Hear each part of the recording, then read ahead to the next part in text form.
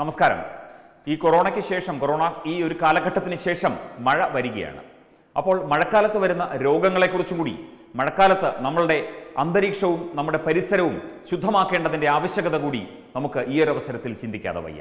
കേരളത്തിൽ പലയിടങ്ങളിലും മഴക്കാല ശുചീകരണമൊക്കെ തുടങ്ങി എന്ന് പറയുന്നതല്ലാതെ കൃത്യമായി ഒന്നും നടപ്പിലാക്കി കാണുന്നില്ല നടപ്പിലാക്കുന്നില്ല എന്നുള്ളതാണ് പരാതി.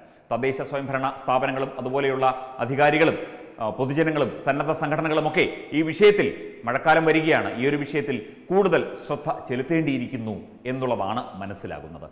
മധ്യ തിരുവിതാംകൂറിലെ ഒരു പ്രദേശത്ത് കഴിഞ്ഞ ദിവസം ഒരു കനാലിൽ അടിഞ്ഞുകൂടിയിരിക്കുന്ന മാലിന്യങ്ങൾ നിറഞ്ഞു നിൽക്കുന്ന മാലിന്യങ്ങൾ ഒരു കൂട്ടം ചെറുപ്പക്കാർ ഒരു കൂട്ടം സന്നദ്ധ പ്രവർത്തകർ ചേർന്ന് വൃത്തിയാക്കി. ആ ഒരു കാര്യം പറയുന്നതിനായിട്ടാണ് മുന്നോടിയായി ഈ മഴക്കാല ശുചീകരണത്തെപ്പറ്റി ഒന്ന് സൂചിപ്പിച്ചത്. ഇത് പരിപൂർണമായി ഈ ഒരു കനാൽ വൃത്തിയാക്കി. അതായത് ഈ ജലാശയങ്ങളും അതുപോലെയുള്ള സംഭവങ്ങളൊക്കെ തന്നെ വൃത്തിയാക്കേണ്ടത്. കനാലുകൾ അതുപോലെ തോടുകൾ പുഴ കുളങ്ങൾ ഇതൊക്കെ വൃത്തിയാക്കേണ്ടത് ഈ ജലജന്യ രോഗങ്ങളാണല്ലോ മഴക്കാലത്ത് കൂടുതൽ ഉണ്ടാകുന്നത്. അങ്ങനെയാണ് ആരോഗ്യ പ്രവർത്തകർ പറയുന്നതും നമ്മുടെ അനുഭവം അങ്ങനെ തന്നെയാണ്. അപ്പോൾ അത്തരത്തിലുള്ള രോഗങ്ങൾ തടയുന്നതിന് കാരണം കൊറോണയ്ക്ക് പിന്നാലെ ഇത്തരത്തിൽ ഒരു രോഗം കൂടെ വന്നു കഴിഞ്ഞാൽ കോളറ പോലുള്ള രോഗങ്ങളോ അങ്ങനെയുള്ള രോഗങ്ങളോ പനിയോ അങ്ങനെയൊക്കെ വന്നു കഴിഞ്ഞാൽ വീണ്ടും നമ്മൾ ബുദ്ധിമുട്ടും. അപ്പം അതിനായിട്ടാണ് പറയുന്നത് കൂടുതൽ ഈ ശുചീകരണ മേഖലയിൽ നമ്മൾ കേന്ദ്രീകരിക്കേണ്ടിയിരിക്കുന്നു. അപ്പോൾ ഈ ഒരു കാലഘട്ടത്തിൽ നമ്മൾ കൂടുതൽ ശുചീകരണ പ്രവർത്തനങ്ങളിൽ ഏർപ്പെടേണ്ടിയിരിക്കുന്നു. അതുപോലെ നമുക്ക് ഈ മഴക്കാല രോഗങ്ങളെ തടയുന്നതിനായുള്ള മുൻകരുതൽ നടപടികളുടെ ആദ്യപടിയായി ഇത്തരത്തിലുള്ള ജലാശയങ്ങൾ വൃത്തിയാക്കുന്ന ആ ഒരു കാര്യത്തിൽ കൂടുതൽ ശ്രദ്ധ പതിപ്പിക്കേണ്ടിയിരിക്കുന്നു. അതിന്റെ ഒരു ഉദാഹരണമാണ് ഈ പ്രദേശത്തു നിന്നും നമുക്ക് ലഭിച്ചത്. ഈ ഒരു പ്രക്രിയയിൽ ഈ ഒരു വൃത്തിയാക്കൽ പ്രക്രിയയിൽ ഉൾപ്പെട്ട യുവാക്കൾ യുവാക്കളുടെ പ്രതിനിധിയായി ശ്രീ ജെയിൻ സദാനന്ദൻ എന്ന വ്യക്തി നമ്മളോട് ഈ വിഷയത്തിൽ പ്രതികരിച്ചു. സാറേ ഇത് ഇപ്പൊ നമ്മൾ ഈ ലോക്ക്ഡൌൺ തുടങ്ങിയപ്പോൾ തൊട്ട് നമ്മൾ health health cleaning panchayat cleaning അങ്ങനെയുള്ള ഇതുമായിട്ട് നമ്മൾ പഞ്ചായത്തുമായിട്ടും നമ്മൾ പൊതു സംഘടന ആയതുകൊണ്ട് അങ്ങനെ നമ്മളൊരു യൂത്ത് അല്ലേ? അപ്പം എല്ലാവരും ഇപ്പൊ ഈ ഒരു കാലത്ത് ചെറുപ്പക്കാർ ഇറങ്ങിയില്ല എന്നുണ്ടെങ്കിൽ ഹെൽത്തുകാരെയും അല്ലെങ്കിൽ പഞ്ചായത്തുകാരെയൊക്കെ സഹായിക്കാൻ വേണ്ടിയാണ് നമ്മൾ ആദ്യമായിട്ട് ഇറങ്ങുന്നത്. നമ്മൾ പല കാര്യങ്ങളും. കൊച്ചനാടുള്ള പ്രദേശങ്ങൾ കഴിഞ്ഞ പ്രാവശ്യം വെള്ളപ്പൊക്കം ഉള്ള സമയത്ത് നമ്മൾ ഇറങ്ങിയിരുന്നു ചെങ്ങനൂർ വെള്ളപ്പൊക്കത്തിൽ വെള്ളപ്പൊക്കത്തിലെല്ലാം നമ്മൾ ഇറങ്ങിയതാണ് നമ്മളിങ്ങനെ പൊതുവായിട്ട് നിൽക്കുന്നതാണ്. അപ്പം ഇതൊരു ഒരു ഒരാഴ്ചയായിട്ട് ഇത് അവിടെ മാലിന്യം കിട്ടിക്കിടക്കുവാണ്. ആരും അതിനെ നോക്കാതെ അതും ഒരു ടൺ കണക്കിന് മാലിന്യങ്ങളാണ് അവിടെ കിടന്നത്.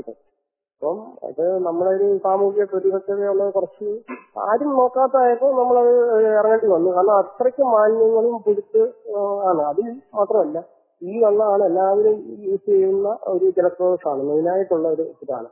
നമുക്കത് കണ്ടിട്ട് കണ്ടില്ല എന്ന് പഠിക്കാൻ പറ്റാത്ത ഒരു കുറച്ച് മനസ്സുള്ള നല്ല കുറച്ച് ചെറുപ്പക്കാരുണ്ട്. അവരുടെ ഒരു പിന്തുണ കൂടിയാണ് നമ്മൾ ചെയ്തത്. കാരണം ഒത്തിരി പേര് എന്താ കാർഷിക ആവശ്യങ്ങൾക്കും എല്ലാം ഇത് എത്രയോ പേരുണ്ടോ അത്രയും പേര് ഉപയോഗിക്കുന്നതാണ്.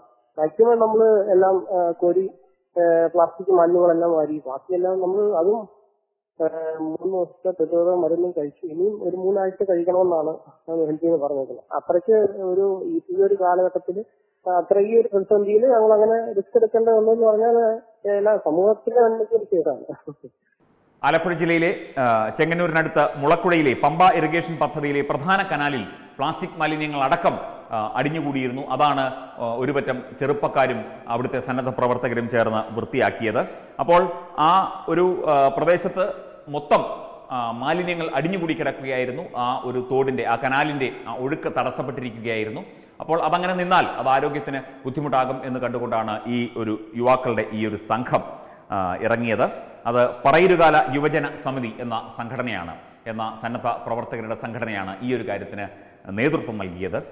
ശ്രീ സോമരാജൻ പണിക്കർ എന്ന വ്യക്തി അദ്ദേഹം ഈ ഒരു കാര്യം കാണുകയും അത് ഈ ഒരു യുവാക്കളെ യുവാക്കളുടെ ഈ ഒരു കൂട്ടായ്മയെ അറിയിക്കുകയും അത് നന്നായി തന്നെ അത് നടപ്പിലാക്കി അത് വൃത്തിയാക്കി ആ കനാലിന്റെ ഒഴുക്ക് നീരൊഴുക്ക് പുനഃസ്ഥാപിക്കാനും അവർക്ക് കഴിഞ്ഞു. അപ്പോൾ ഇതൊരു ഉദാഹരണം മാത്രം. നമ്മൾ കേരളത്തിൽ പല ഇടങ്ങളിൽ സഞ്ചരിച്ചു കഴിഞ്ഞാൽ ഇതുപോലെയുള്ള മാലിന്യങ്ങൾ അടിഞ്ഞുകൂടി കിടക്കുന്ന പല പ്രദേശങ്ങൾ കാണും.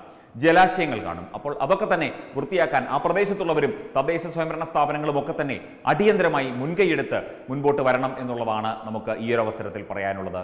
മഴക്കാലത്തിൽ മഴക്കാലം വരികയായി അപ്പോൾ വീണ്ടും മറ്റ് രോഗങ്ങളും മറ്റു കാര്യങ്ങളും ഒക്കെ വരാനുള്ള സാധ്യത കണക്കിലെടുത്ത് നമ്മൾ ഇതിന് അടിയന്തരമായി ഒരു പരിഹാരം അധികാരികളും ജനങ്ങളും ജനസേവകരുമൊക്കെ ചേർന്ന് നടപ്പിലാക്കേണ്ടതാണ് എന്ന് പറയുന്നു. അതിന്റെ ഇപ്പോൾ ചെങ്ങന്നൂരിൽ നിന്നുള്ള ഈ ഒരു വാർത്ത കണ്ടിട്ട് ഇത് എല്ലാവർക്കും പ്രചോദനമാകും എന്ന് ഞങ്ങൾ വിശ്വസിക്കുന്നു. തീർച്ചയായും നമുക്ക് ഒത്തൊരുമിച്ച് നിന്ന് നമുക്ക് രോഗബാധ തടയാം. മഴക്കാല ശുചീകരണ പ്രവർത്തനങ്ങൾക്ക് നമുക്ക് തുടക്കമിടാം. തുടക്കമിടേണ്ട സമയം അതിക്രമിച്ചിരിക്കുന്നു. നമുക്ക് എത്രയും പെട്ടെന്ന് അതൊക്കെ തന്നെ ചെയ്ത് തീർക്കേണ്ടതുമാണ്. Web desk Tatwamayi news.